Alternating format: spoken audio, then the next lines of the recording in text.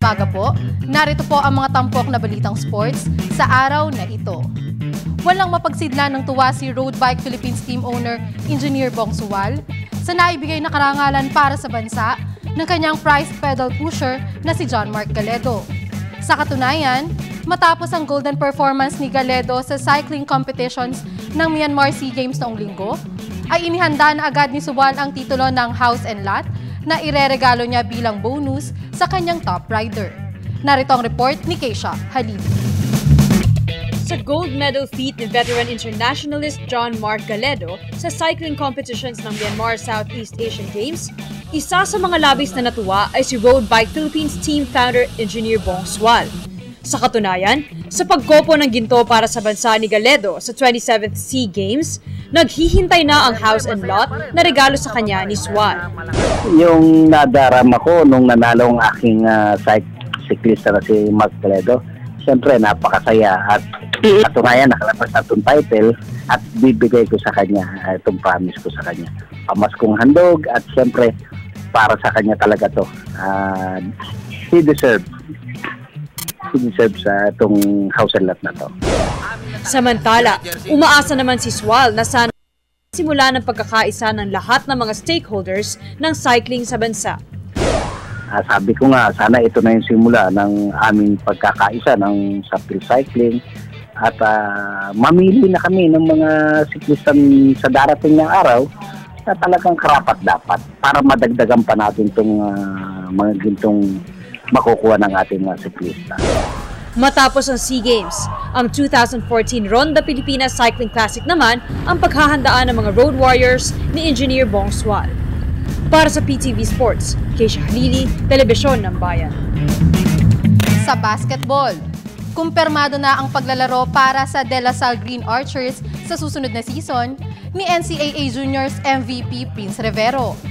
Tinapos ng 6'3 power forward ang secondary basketball career sa piling ng Lasal Green Hills Greenies at nagdesisyon siya na wag nang lumipat ng team sa pagpasok niya sa seniors ranks. May report si Arian Malyari.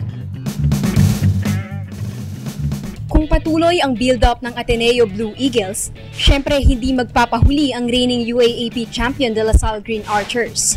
At tulad ng inaasahan, tinupad ni NCAA Juniors MVP Prince Rivero ang pangakong mananatili siya sa Taft Avenue-based squad. Hindi itinanggi ng 18-year-old LaSalle Green Hills Greenies hotshot na sumagi rin sa kanyang isipan ang lumipat sa Ateneo lalo pat nasa rival team ang ilan sa kanyang mga katropa tulad ni na 30 Ravenna at Arvin Tolentino. Okay, okay rin naman po yung program na binisinasabi nila sa akin. Thankful nga po ako sa kanila eh kasi po kahit pa paano maganda po yung gusto nilang marating ko. Yung mga yung ibibigay na sa akin, okay rin naman po para sa akin. Medyo mas comfortable po sa Lasal community. Samantala, nagpahayag naman ng kahandaan si Rivero sa pagsuong sa hamon ng college basketball. Since then po, pinaniniwalaan ko naman po. Kung ano yung trinabaho ko, yun po ang playing time ko. So, Oo. kailangan ko trabaho ko para makuha ko ng playing time. So, hindi ka natatakot kahit marami kang kalaban doon. May takot din po, pero kung magtatrabaho naman po ako, wala naman po sigurong imposible. Oo.